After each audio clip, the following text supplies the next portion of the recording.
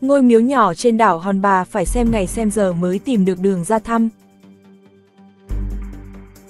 Đảo Hòn Bà Vũng Tàu là một điểm đến lâu năm của du khách thập phương trong cả nước. Nơi đây in dấu những niềm tin đẹp, nơi người ta gửi gắm ước nguyện về điều tốt lành đến từ tương lai. Đảo Hòn Bà, hay còn được gọi là Hòn Bà Vũng Tàu, để phân biệt với Hòn Bà Nha Trang, tọa lạc tại khu bãi sau. Nằm cách mũi Nghinh Phong khoảng 200 mét của thành phố Vũng Tàu. Sinh ra từ biển và đá, Hòn Bà quanh năm sóng vỗ rì rào, khoe mình giữa thiên nhiên đất trời, là một địa điểm du lịch tâm linh được nhiều người tìm đến vãn cảnh, chiêm bái. Có địa thế độc đáo, phải chăng vì điều ấy mà ngôi miếu nhỏ trên hòn bà càng thêm linh thiêng? Miếu hòn bà nơi ngự giá của Thủy Long nương nương. Trải dài theo năm tháng, miếu hòn bà đã trở thành một nét đẹp trong tín ngưỡng dân gian của người dân Vũng Tàu nói riêng và người dân cả nước nói chung. Không chỉ mang vẻ đẹp giữa thiên nhiên đất trời, miếu hòn bà còn mang trong mình cả một khoảng thời gian lịch sử lâu dài. Theo thông tin tìm hiểu, ngôi miếu nhỏ trên hòn bà được xây dựng vào năm 1881 bởi một tín hữu người miền Trung tên là Hồ Quang Minh. Trong những năm tháng lịch sử ấy, vào năm 1939, một sĩ quan Pháp tên Akainat muốn bắn bỏ ngôi miếu. Mặc dù bắn ba phát nhưng chỉ trúng một phát vào góc ngôi miếu. Chẳng lâu sau, do một lần bất cần sử dụng súng, viên sĩ quan đã bỏ mạng tại đây. Cũng vì lý do đó mà người Pháp gọi là đảo Akainat. Tuy nhiên, người dân nơi đây vẫn gọi là đảo Hòn Bà. Ngôi miếu được bà con làng Thắng Tam gom góp tu bổ nhiều lần, trong đó nổi bật nhất là năm 1971, một thương nhân đến từ Trà Vinh tên Thanh Phong đã vận động người dân cùng sửa miếu. Miếu Hòn Bà của thời nay cao 4 mét, bên dưới có một tầng hầm dài 6 mét rộng 3 mét nơi từng là căn cứ diễn ra các cuộc họp cách mạng bí mật thời xưa. Ngay từ dưới chân miếu có một con đường quanh co xây bậc tam cấp chắc chắn dẫn lên điện thờ.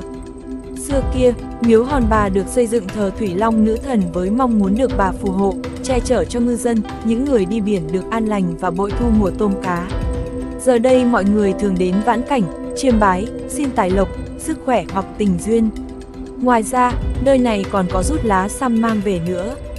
Tại miếu thờ trung tâm, ban thờ được bài trí bài vị cùng năm pho tượng ngũ hành nương nương. Trong quan niệm tín ngưỡng của người dân miền sông nước, biển cả, Ngoài Thủy Long nữ thần thì ngũ hành nương nương tượng trưng cho năm yếu tố vật chất hình thành nên vũ trụ cũng được quan tâm không kém. Tín ngưỡng thờ phụng ngũ đức thánh phi, kim, mộc, thủy, hỏa, thổ vừa mang giá trị ngưỡng vọng, tri ân và tưởng niệm.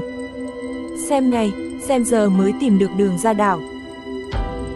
Thông thường, muốn ra đảo nằm trên biển, người dân sẽ phải đi ghe, thuyền để đặt chân được lên đảo.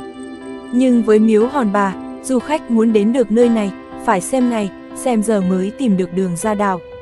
Nghe có vẻ mê tín, trên thực tế, đây là điều thú vị và độc đáo hấp dẫn khách du lịch đến thăm hòn đảo nhỏ nằm giữa biển khơi. Đó là phải tìm được ngày, giờ thủy triều rút. Mặc dù khi thủy triều lên, có thể đi ghe thuyền nhưng do có nhiều đá nên cũng khó di chuyển được sát đảo nhất có thể. Du khách đến thăm đảo Hòn Bà chủ yếu chọn cách đi bộ, đợi con nước rút, ngắm bình minh và đi bộ trên con đường đá để ra đảo bạn sẽ mất khoảng 10 đến 15 phút để di chuyển trên đường đá ra đảo.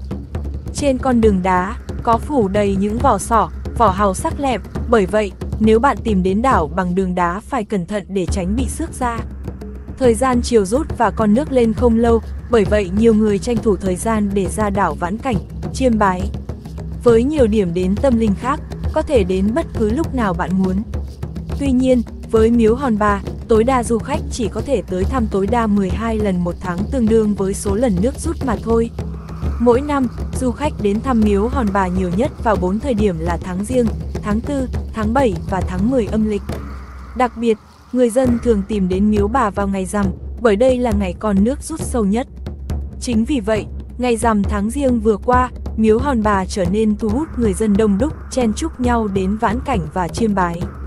Chị Anh Thư, sống tại Vũng Tàu cho biết, từ sáng sớm lúc 5 giờ, chị cùng bạn đã lên đường tới đảo, đi trên con đường đá thăm miếu hòn bà. Lượng người đổ về miếu trong rằm tháng riêng đông đến mức nghẹt thở, chị không thể chen nổi vào điện thờ chính. Muốn đến thăm miếu hòn bà, du khách cần lưu ý tìm kiếm thông tin ngày giờ thủy triều lên xuống chính xác để có thể đi bộ trở vào đất liền được an toàn.